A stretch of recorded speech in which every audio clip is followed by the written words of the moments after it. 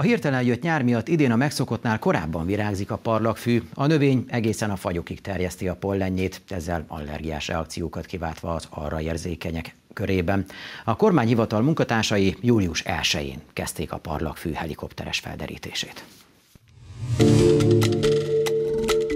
Idén a megszokottnál korábban kezdődik a parlagfű virágzása. A növény egészen őszig szórja a polleneket, rengeteg kellemetlenséget okozva az arra allergiás embereknek. A korai virágzás oka a hirtelen átmenet nélkül érkezett nyár, ami a gazdálkodókat is kihívás elé állította. A nagyon meleg április és május hónapokban kevés csapadék hullott. Ezek az időjárási körülmények kifejezetten kedvezőek a parlagfű csirázásának. Már március végén kikeltek a növények. A gyomírtó kezeléseket így nem tudták mindenhol időben elvégezni, a parlagfű ezért szabadon fejlődhetett, így a virágzás is jóval hamarabb kezdődhet a megszokottnál. Velünk a stúdióban Bújdos László, a növény- és talajvédelmi osztályvezető. Jó napot kívánok, üdvözlöm! Jó napot kívánok, tisztelettel köszöntöm a nézőket! Tényleg erős parlagfű szezonra számítanak most? mint ahogyan a felvezetőben elhangzott. Igen, hát egy kemény parlagfű szezonunk lesz, bár a gazdálkodók nagyon gondosan elvégezték azokat a feladatokat, ami rá, rájuk hárul.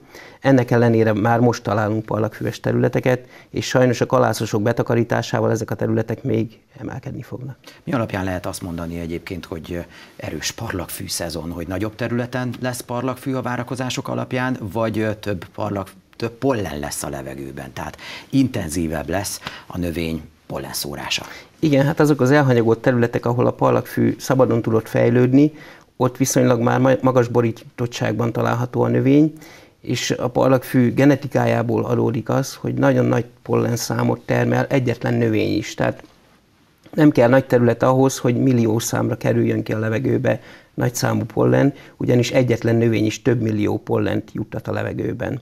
Az, hogy milyen erős lesz a szezon, azt az elkövetkező hónapok vagy hetek időjárása fogja eldönteni, főképpen attól függ, hogy milyen módon fognak a gazdálkodók a területeiken megfelelő védekezést végrehajtani. Viszonyítási alap azért gondolom van az előző évek tapasztalataihoz képest, illetve hát a várakozások alapján akkor a földterületek, mert itt ugye megművelt földterületekről beszélünk, hány százalékán lehet parlagfű majd? Hát számításaink, meg becsléseink szerint 1-2 százalék az a terület, ahol parlagfű lehet, viszont ez jelentős terület azért a megyében, a megye művelt gazdasági területe kb. 500 ezer hektár, tehát ehhez képest azért az 1-2 százalék is viszonylag nagy területet jelent, és mondom, a borítottságtól függ, hogy milyen mértékben tud megnőni a növény, már pedig a mostani csapadékos időjárás kedvezett annak, hogy jól fejlődjön, és intenzíven tudjon majd virágozni, hogyha bejön a melegebb időjárás.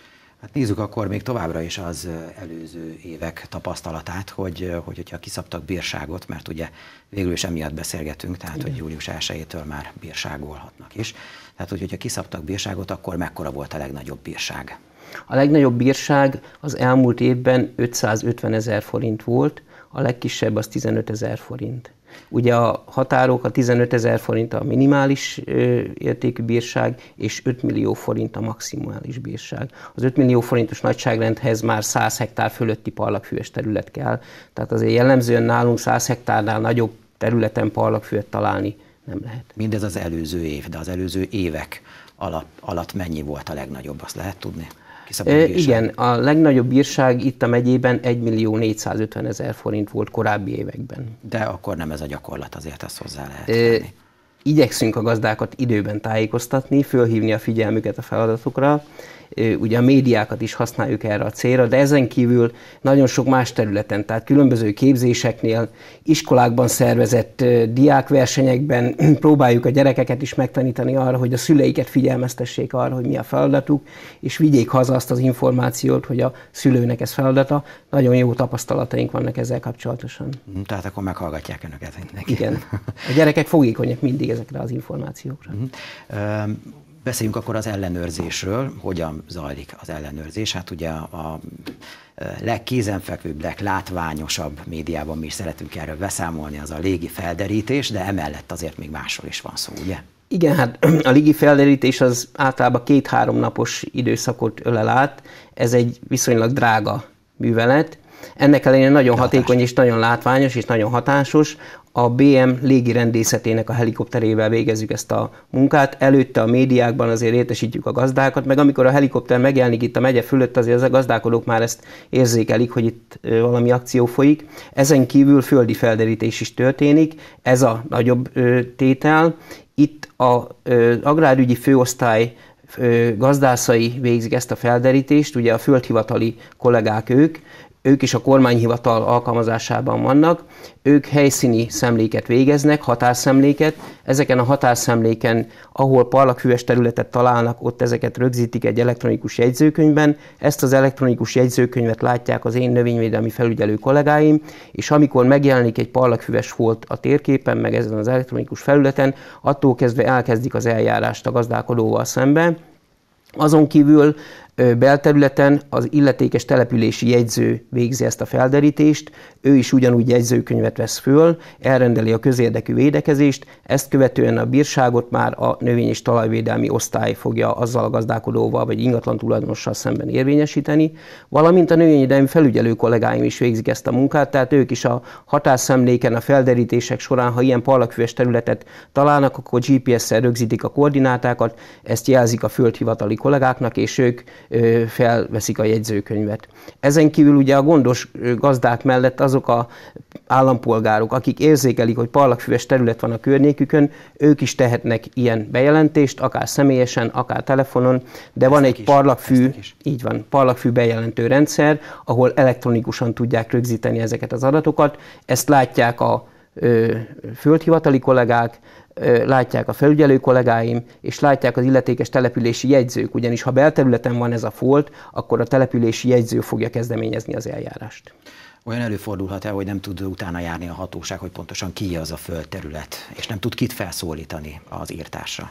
Igen, sajnos van ilyen is, és ebből elég sok problémánk származik. Az ingatlan nyilvántartásban nagyon sok esetben nem történik meg a elhaltaknak a hagyatékolása, emiatt nagyon sok gondot jelent az, hogy azonosítjuk, azonosítjuk a tulajdonost, de ez nem jelenti azt, hogy ilyen esetben nincs kényszerkaszálás vagy valamilyen védekezés a területen. A közérdekű védekezés alapján a területnek a kaszálása meg fog történni, amikor megtaláljuk az ingatlan tulajdonosát és érvényesíteni tudjuk vele szembe a közérdekű védekezés, valamint a bírság és az egyéb költségek tételét, akkor fogjuk vele szembe érvényesíteni. De a kaszálás megtörténik, az azonosítás az egy picit hosszabb időt vesz igénybe. Van olyan eset, hogy akár egy fél évet, évet is eltöltünk azzal, amit be tudjuk azonosítani, hogy ki az ingatlannak a tulajdonosa vagy a használója.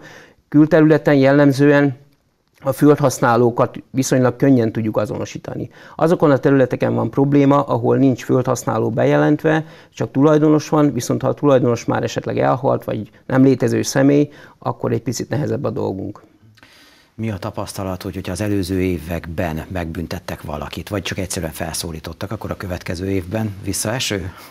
vagy már a mm. következő évben azért vigyáz arra, hogy a parlagfű legyen értve a területére? Ez egy tanulságos dolog. Jellemzően a gazdálkodók, a földtulajdonosok, ha egyszer találkoznak egy ilyen eljárással, menekülnek az ilyen esetektől, és igyekeznek rendbe tenni a dolgaikat. Van néhány, minden évben van néhány visszaeső és notórius parlagfűes terület.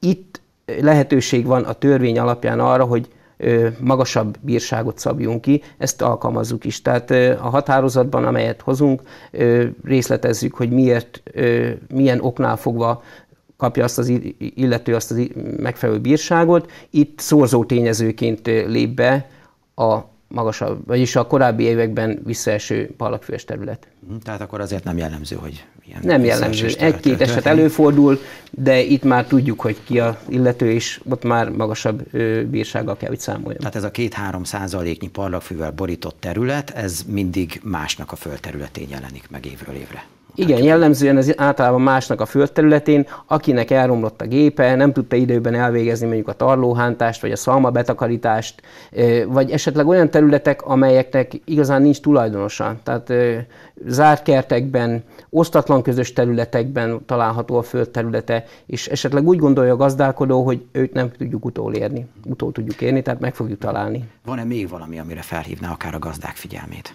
Gazdák figyelmét arra szeretném fölhívni, hogy ugye a kalászosok betakarítása napokban elkezdődik. Ezeken a kalászos területeken a parlagfű ki tudott csirázni, ugyanis a kalászosoknak ilyenkor már nincs gyomelnyomó képessége. Az elmúlt hetekben azért 15-20-30 mm csapadék lehullott, ezeken a területeken kicsirázott a parlagfű, amikor learatják a kalászos növényeket, a parlagfű az intenzíven elindul fejlődni ezeken a területeken, tehát ezeken a tarlókon mindenképpen nagyon fontos a parlagfűmentesítés, tárcsázás, tarlóhántás, ezzel tud igazán a gazdálkodó hatékonyan védekezni, és ki tudja kerülni azt, hogy esetleg parlagfű miatt eljárás induljon vele szemben. Bújdos László, köszönjük szépen, hogy itt Köszönöm szépen a lehetőséget.